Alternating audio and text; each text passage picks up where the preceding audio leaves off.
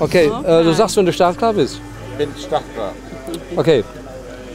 Ja, wir freuen uns ganz besonders auf Besucher aus Norwegen, die heute extra wegen Albert Hammond zu den Rheinbach Classics gekommen sind.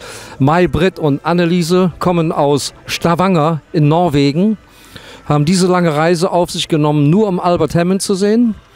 Und äh, das fanden wir ganz toll. Und das Besondere ist sicher auch noch, darf man auch sagen, dass äh, Maybrit ist äh, gehörlos und ihre Schwester Anneliese, wie man sieht, übersetzt ihr das Albert Hammond Konzert per äh, äh, Gebärdensprache. Also wirklich eine tolle Geschichte.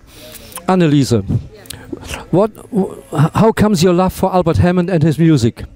It was from uh, 1972.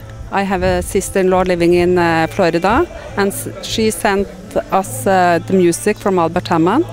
And I was a young mother, so I was uh, home and uh, play with my children, and we was listening to Albert Hammond. And suddenly he was gone away. But uh, one and a half years ago, I see, oh, he's back again. Yes. Okay. Yeah, after nearly 50 years, Albert Hammond is back on stage.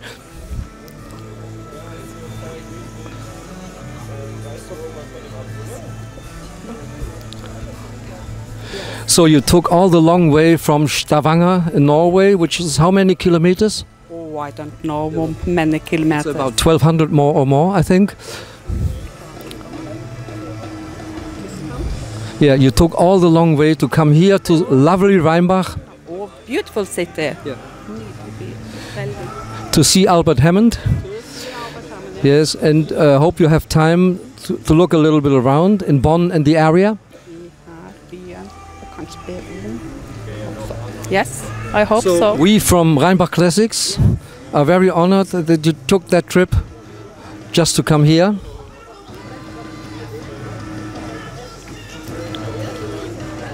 And maybe you could explain our audience how does it work? How can your sister feel the music? She,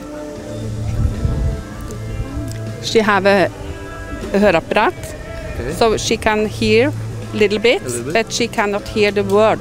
Okay, So I have to talk what he is singing, okay. and feel it. she feel from The the, ground, the bass, yes, mm-hmm. from the ground Okay. and up. She's a very good dancer. Okay. Yes. And obviously you enjoy the music of Albert. Så du... Ja. Good. Du liker å høre.